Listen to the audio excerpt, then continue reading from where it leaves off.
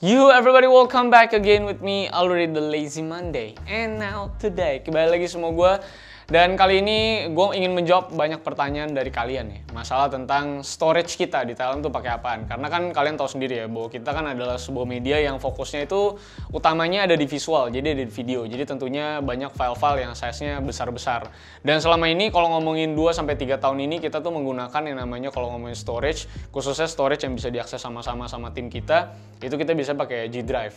Nah kalau misalkan pakai G Drive ya kalian akan bayar bulan atau tahunan tergantung kapasitas yang kalian beli. Nah tentunya tapi kita sering mengalami kendala di G Drive karena kalau ngomongin filenya banyak yang bisa di-download itu biasanya jadi zip dan prosesnya itu cukup lama. Dan di beberapa browser biasanya gue juga dapat kendala itu nggak bisa download dan segala macam. Dan kadang-kadang ya jadinya nggak reliable dan banyak kendala karena masalah download file untuk masalah preview dan segala macamnya. Dan tentunya kalau misalnya ngomongin masalah nambahin hard disk juga, ribetnya kan nggak mungkin lu bawa-bawa hard disk lu tuh ke mana-mana gitu kan. Nah jadinya kita memilih sebuah solusi yang menurut gue tepat untuk para media atau misalnya kalian local-local startup yang punya file besar dan filenya ingin bisa diakses dari mana pun dengan sistem yang cukup ringan, yang cukup singkat juga, nggak perlu ribet-ribet download dan segala macam gitu ya, karena semuanya langsung bisa diakses secara seamless lah bisa dibilang. Maka dari itu kita milih NAS sebagai cloud storage kita. Nah, cloud storage yang kita pilih adalah dari Synology. Nah, ini adalah bentukan dari NAS kita nih. Ini kalian bisa tambah hard disknya di sini. Nanti kalau kalian mau nambahin kapasitas lagi ya tinggal beli aja langsung lagi ininya. Dan ini langsung nyambung ke router kita. Dan memang routernya kalau ngomongin masalah bottleneck ya bottleneck dan kita juga lagi mau ganti router kita juga supaya speed dan kecepatannya lebih lebih baik gitu ya. Jadi nantinya kita bakal ganti mungkin gue bakal update lagi kontennya soon setelah kita dapetin router dari sponsor yang terkait gitu ya. Nah tentunya kalau ngomongin masalah sinologinya kenapa kita pilih sinologi seperti yang gue bilang memang ngomongin sinologi itu jauh lebih friendly lah kalau ngomongin dashboardnya. Kalau lu buka dashboardnya itu bener-bener lu lagi kayak pakai Windows komputer aja jadi nggak ribet nggak perlu adaptasi ulang karena segalanya jauh lebih mudah untuk digunakan. Nah makanya di sini sudah ada William Handoko Instagramnya, hmm jomblo. Nah lu bisa lihat kira-kira keunggulan dari sinologi. Kenapa kita pilih sinologi? Ini ada bisa ditunjukin sama William. Ya, jadi Kalau kalian yang suka pakai NAS dan ngerti ya, kalau Synology itu punya UI-nya paling gampang. Jadi di sini tuh kita bisa ngeliat kalau di sini tuh udah ada resource monitor sama sistem health, di mana lu bisa monitoring segala macam. Lalu untuk kontrol panel tuh udah simple banget. Semuanya tuh udah ada icon-iconnya dan dijelasinnya udah gamblang banget deh. Lu mau ngatur network, external access atau quick connect-nya.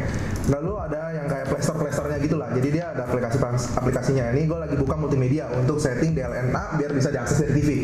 Lalu ini juga ada file session nih makanya sama lah kayak folder di Windows jadi udah aman banget jadi udah mudah lah makanya untuk UI-nya. Dan lanjut ke Aldo. Nah, itu gue suruh William jelasin karena dia adalah orang yang paling sering pakai karena ya, karena karena faktor utamanya adalah William suka ngilangin data di komputernya sendiri. Jadi supaya menghindari hal-hal tersebut lebih baik setiap langsung syuting langsung di backupnya tuh langsung masuk ke NAS. Jadi semuanya langsung bisa update, semuanya langsung bisa lihat filenya itu benar-benar eksis dan ada. Karena sudah kedua kalinya dia menghilangkan file-file penting ya. Jadi NAS ini membantu banget kita untuk monitoring masalah file juga. Dan kalau ngomongin masalah media servernya, enaknya kita bisa juga yang namanya nonton film gitu ya, langsung dari rumah kita walaupun NAS-nya atau datanya tuh disimpan di kantor. Jadi jauh lebih mudah kan, lebih enak kan karena kalau ngomongin masalah nonton film aja kita langsung bisa akses langsung di sini nih. Ini sebagai contoh aja. Nanti gue kasih lihat contohnya kalau misalnya kita download file di luar gitu ya.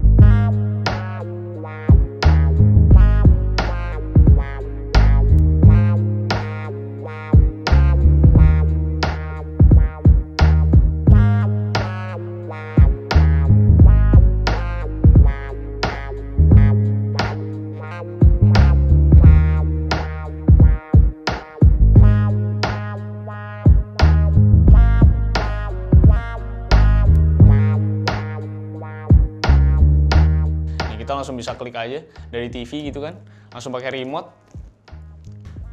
langsung ke setel. Nah, cuman balik-balik lagi ya karena routernya itu gitu ya. Cuma makanya nanti setelah kita ubah, kita ganti, nanti gue bakal update lagi ke kalian ngomongin masalah speednya kayak gimana segala macamnya. Nah, kalau misalnya kalian butuh technicalnya, butuh pembahasan yang lebih lebih bisa dibilang lebih teknis lah ya, itu udah pernah dibahas sama Sony di video yang ada di card di atas ini.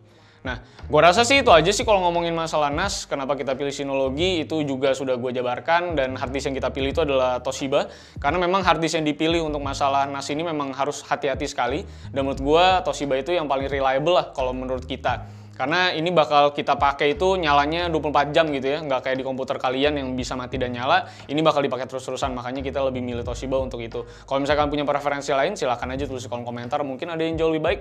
Dan kalau misalnya kalian sudah pakai yang lain, kalian bisa share pengalaman juga. Nah ini kita langsung bisa lihat tuh filmnya udah nyetel di belakang. Nah jadi memang jauh lebih accessibility ya, dan 4K juga. 4K dan 4K HDR juga. Jadi bener-bener lu langsung bisa bisa dibilang nggak kayak lagi streaming nggak lagi streaming gitu. Jadi bener-bener filenya tuh mentahnya ya sama yang ada lu lihat dan lu tonton filenya 4K HDR gitu. Ya ya TV-nya juga mesti HDR kalau TV-nya nggak HDR mah ya emang nggak bisa pak. Atau TV-nya masih 1080 ya juga nggak bisa gitu ya. Nah itu dia penjelasan gue tentang bagaimana sistem uh, NAS dari Synology ini bekerja. Gue rasa kalau misalnya kalian yang seperti tadi gue bilang kalian local startup dan masih kecil butuh bisa sharing data ke mana-mana. Karena kalau ngomongin masalah Synology-nya juga kalian bisa ngasih link langsung di sana untuk bisa di preview ke klien misalnya atau kalian mau bikin grup uh, link untuk bisa teman-teman kalian yang dari certain group itu bisa akses data tersebut nggak seperti kayak DigiDrive juga yang yang cukup rumit ya karena mesti ngasih akses dan segala macamnya. Nah di sini semua segala macamnya sudah bener-bener enak banget. Kalau misalnya langsung diupload ke YouTube pun kalian juga mesti ngupload dan ngotor-ngotorin kalau preview berkali-kali juga bikin timeline videonya juga jadi berantakan. Nah dengan NAS ini ngebantu seluruhnya jadi prosesnya ada di satu titik gitu. Jadi mau ditransfer ke mana pun, mau ditransfer di editor dulu, mau ditransfer ke si David dulu untuk preview videonya atau ke Sony dulu atau ke gue dulu itu semua langsung bisa diakses secara langsung di komputer masing-masing dan teman-teman di sini jadi nggak perlu pindah-pindah karena anak-anak di TLM semakin banyak ya jadi nggak mungkin juga mereka pindah-pindahan ke komputer siapa gitu untuk melihat datanya jadi dengan NAS ini benar-benar ngebantu alur kerja jadi jauh lebih efektif jauh lebih efisien Nah, itu aja yang bisa gue sampaikan kepada kalian. Thank you juga untuk Synology yang sudah memberikan kepercayaan juga untuk kita pakai dan kita tes barangnya dan bisa kita kasih review yang sejujur-jujurnya dan barangnya bagus banget menurut kita, ngebantu banget kita dalam pekerjaan kita sehari-hari yang memang fokusnya ada di data yang cukup besar-besar.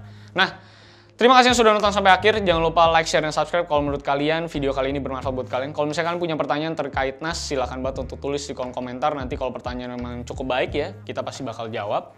Dan pasti juga jangan lupa juga untuk follow kita di Instagram di @delazymande dan kunjungi website kita di www.thelazy.media. So thank you guys for watching once again and see you on the next video. And Aldo signing out. And bye bye guys.